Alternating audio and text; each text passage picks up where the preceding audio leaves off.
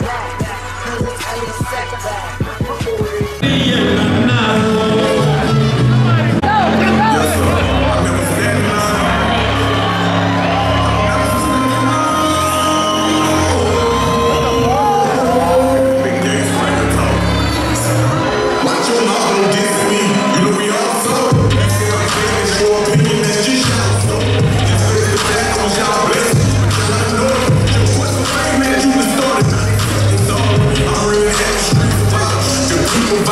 the jail.